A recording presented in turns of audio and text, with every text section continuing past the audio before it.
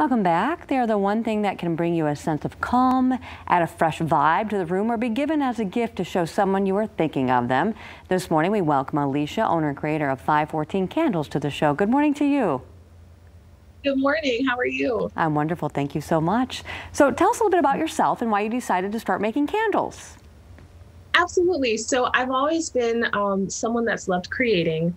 Um, I am a mom of a great one, one and a half year old son with my husband. And um, when I first started making candles, um, I made them as gifts. Uh, I've always loved, um, when it came to family and friends, making things that were really personal, um, making things that were meaningful too. So originally, it was a Christmas gift idea. And I was so surprised um, by the feedback that I got and was encouraged by friends like, hey, maybe you should like look into this as a business. Um, and I was also surprised by just how much I enjoyed making them. So it really started um, as an idea of gifts.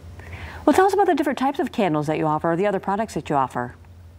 Absolutely. So I have two collections of my own. Um, one is just a colorful collection of um, vibrant, inspiring designs, and the other is the Life Collection, which is really um, something that's close to my heart. And each candle features a different um, encouraging word. Um, just knowing life is full of unexpected things, and, and we all need different things in life at different moments. And so each candle is um, branded after that with a scent that brings that word to life. And so I sell my own collections, but I also provide candles to um, businesses um, for events like weddings and things like that as well, custom candles. And what's behind the name? Great question. So it, it, does come from a scripture, Matthew 5 14, you are the light of the world. And that's um, something, again, that's important to me. Um, and just as kind of the foundation of, of my business is spreading light and spreading hope and encouragement to others.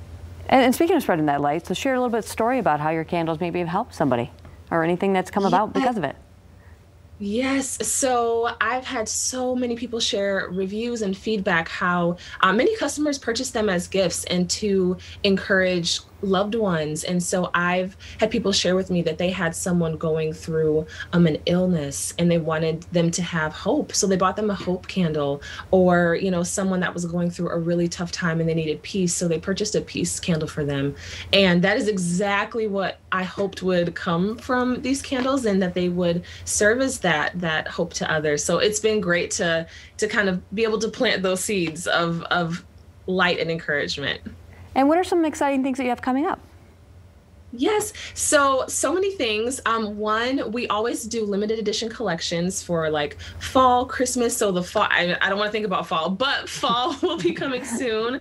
If you want to be um, just having all the updates on that, you can follow us at our website or Facebook, Instagram. Also, though, first time I'm sharing this, we will be doing some rebranding. Um, we're going to be expanding to provide other products too that um, help you to bring peace and mindfulness to your life and into your space, especially we're so busy. So we're going to be growing. So all those updates will be on our website um, and on, and if you join our email list. So I'm so excited for all those things. so it looks like we can get those online and can we get them here locally as well? Absolutely. So I'm in a few stores locally. So we are at Bridge Street Market, okay. which I think many people are uh, familiar with. Mm-hmm. Also, um, we are at Oh Hello Stationery uh, downtown, um, and we are at Vintage Plus More and Pack Elephant, which is part part of Studio Park. And then if you're on the east side of the state by chance, we are also in the Woodward Corner Market that Meijer has over that way.